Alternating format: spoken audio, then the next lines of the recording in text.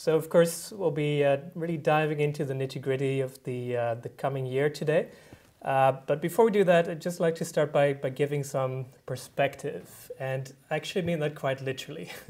and what you're looking at here is, I would say, probably one of my favorite all time photos. Um, actually, I use this as uh, my phone background as well. And uh, it's actually a photo taken from uh, the Cassini-Huygens probe last year uh, while it was in orbit around Saturn.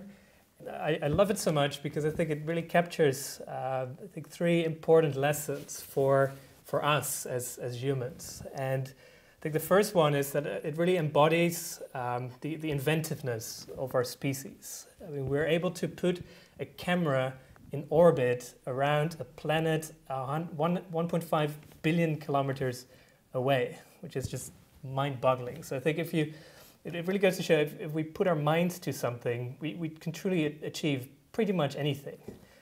Um, the second thing it, that I think it shows is um, that we truly live on a blue planet. So if you look at what the arrow points at, that's us. That's our home. That's planet Earth. Um, and if you, you know, of course, if, if you just go and live your, your day and you think about where do we live, you, you probably think about a city or land or forest or, or whatever, but you know, truly from an outside perspective, you realize you know, we don't live on, on planet Earth, we, we live on planet ocean.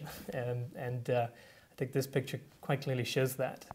Um, and thirdly, I think it really inspires a sense of, uh, of humility because you know, our, our entire lives you know, play out on that one single dot, you know, a dot that is really a, an, an, oasis in, in what really is a, a cold and endless uh, desert.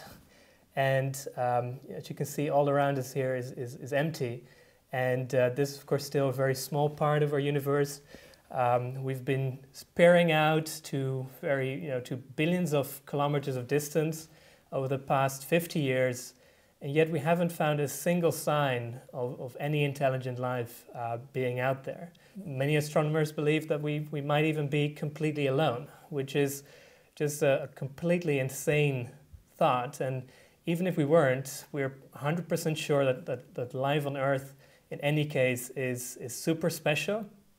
But of course, the problem is we're, we're basically treating it as a, as a second-hand lease car, which leads to the point that I believe we really live in a in a crucial point of our existence where we've amassed incredible power through our technology, through effective organization, and that's something I think we can be really proud of. We, we truly live on the, the, you know, the best available time uh, humanity has ever lived, but we haven't really collected the wisdom yet to, to use it wisely, uh, I think thereby putting everything we, we value at, at risk.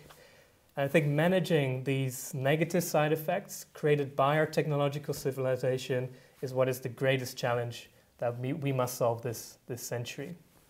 And a challenge like this, you know, it, it ought to, to unleash the, the, the best in our nature, our, you know, our ability to invent solutions, to collaborate, you know, the things that, that gave all this progress in the, in the first place. But of course, instead, you know, what we see is that the dominant response um, is you know, denial on one hand, uh, but of course alarmism, fatalism, and anger on the other hand. And the reality is, you know, that's not going to solve any problem, and it also won't inspire anyone else to, to do something about this. And of course, plastic you know, is one such example of a technology that has given humanity a lot. You know, it's easy, it's cheap, it's lightweight, uh, but at the same time has had these side effects that is, is slowly destroying the, the world that, that we all love.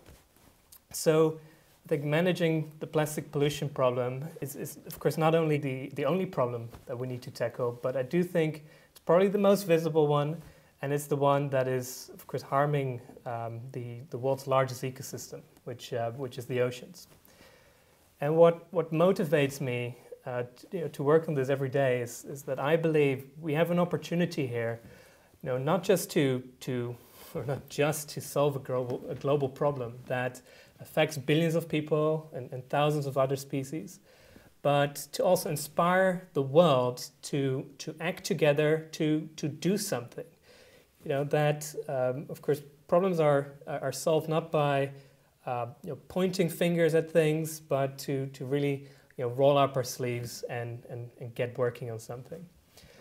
Um, of course, everyone here at the Ocean Cleanup loves this, you know, this blue oasis. We, we love scuba diving, surfing, uh, sailing, whatnot. And uh, you know, I cannot wait uh, for one to, to see those clean oceans again. And of course, I'm very proud to be able to share this mission with, with all of you here today. Thank you, Boyan. Um, I guess this is where I try and take control of the screen.